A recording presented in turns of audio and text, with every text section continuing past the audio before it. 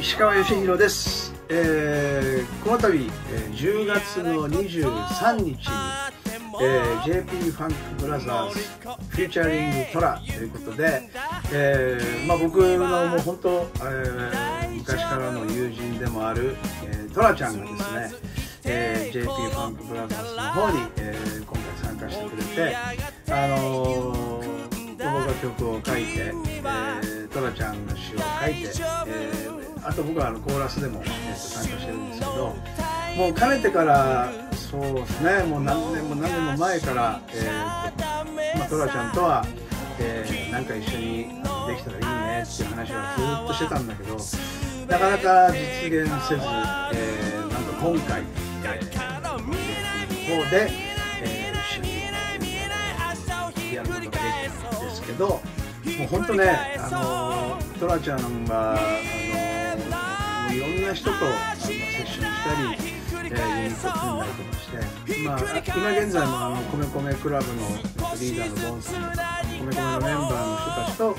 えーユニットを組んでたり、えー、杉正道さんとかとあのコーラスグループやってたりあと一人であの弾き語りをやったり、えーブランドアーキーっていうユニットがあったりもう本当さまざまな、えー多ジャンルにわたって、えー本当に彼はあの、まあ、幅広く音楽活動をしてる人なんですけど、えー今回はですねもうトラちゃんの色満載。あの自分が書いた曲じゃないんじゃないかと思うくらいもうあのトラちゃんの言葉を乗せた瞬間にもう100%トラちゃんの色になる。これはぜひ聴いていただきたいです、えー曲は、ひっくり返し」という曲で。ででもねこれねあの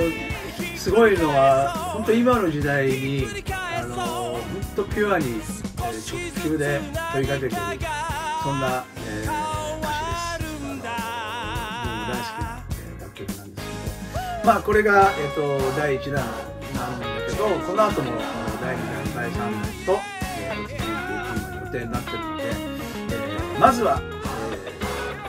えー第1弾の「フューチャリングトラ」ひっくり返し